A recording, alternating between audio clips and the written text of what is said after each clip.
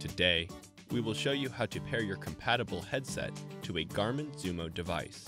In order to complete this process, you will need your Zumo and a compatible headset. Touch the settings icon to access the settings menu. Now, touch Bluetooth. Next, touch Headset. The Zumo will request that your headset is in discoverable mode.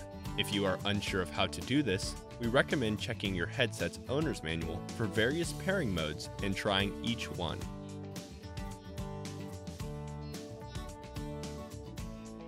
Touch the name of your headset once it is found.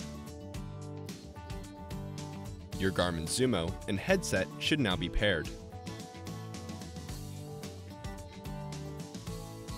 Thanks for watching. For more help, go to support.garmin.com.